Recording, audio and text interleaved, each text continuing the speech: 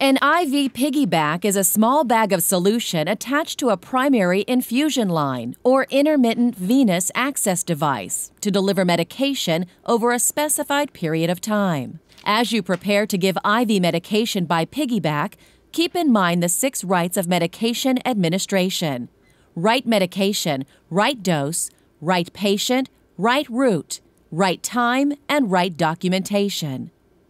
See the video skill ensuring the six rights of medication administration. Ensure the drug is compatible with a primary running IV solution and with any other medications the patient is receiving. Prepare medication for only one patient at a time. Pause twice during your preparation to compare the medication label carefully with the Medication Administration Record, or MAR. Administer the medication at the time ordered. This is especially important for stat and now doses. Hello, I'm Jennifer. I'm going to be your nurse. I have some medicine for you. I'm going to go wash my hands and I'll come right back, okay? Okay. After performing hand hygiene and ensuring privacy, identify the patient using two identifiers. All right, can you state your name for me, please, sir? William Turner, All right, and your birthday? 31647. Ask the patient if he has any known allergies.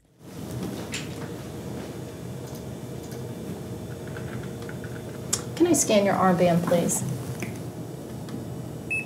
Thank you. Check the expiration date of the IV medication and compare the label with the information in the MAR. This is your third accuracy check.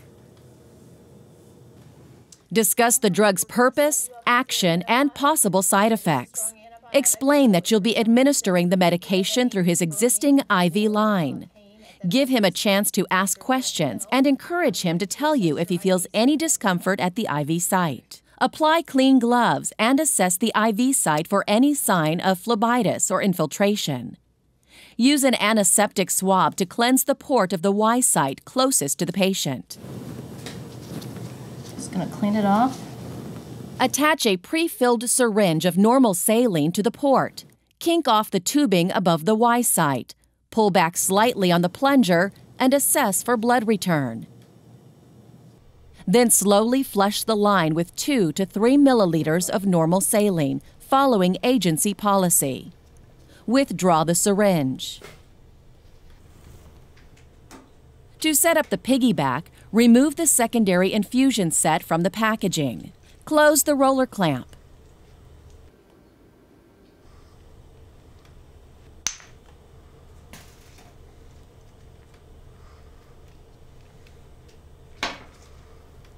Insert the spiked end of the tubing into the medication bag and hang the piggyback. Squeeze the drip chamber, filling it halfway.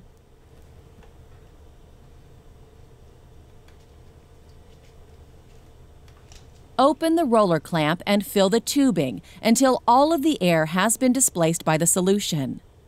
Allow the solution to drip into a trash receptacle. Then cap the tubing and wipe the infusion port above the IV pump with an antiseptic swab. Then connect the secondary set tubing to the port of the main IV line. Twist the luer lock fitting to secure the tubing. Use the hook to lower the primary infusion bag so that the bag of piggyback solution is now above it. To administer an IV piggyback through a saline lock, cleanse the injection port with an antiseptic swab and let it dry. Insert a pre-filled syringe containing 2 to 3 milliliters of 0.9% sodium chloride solution into the port and release the clamp.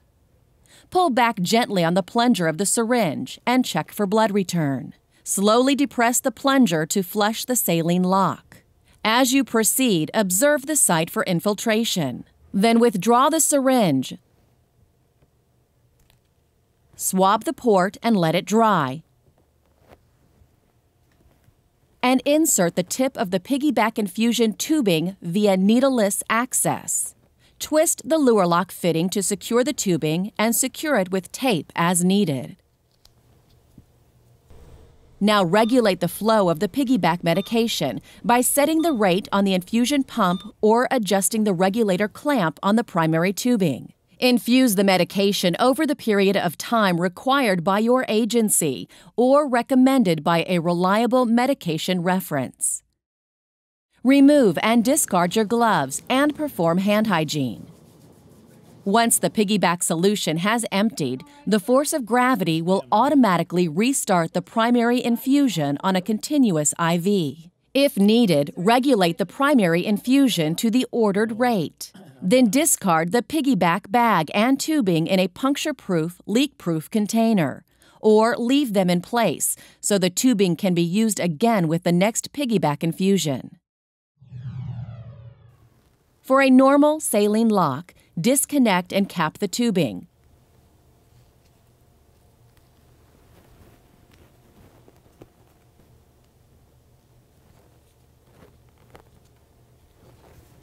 Cleanse the port with alcohol and flush the IV line with 2 to 3 milliliters of 0.9% sodium chloride. Be sure to keep the IV tubing sterile between intermittent infusions. Remove and discard your gloves and perform hand hygiene.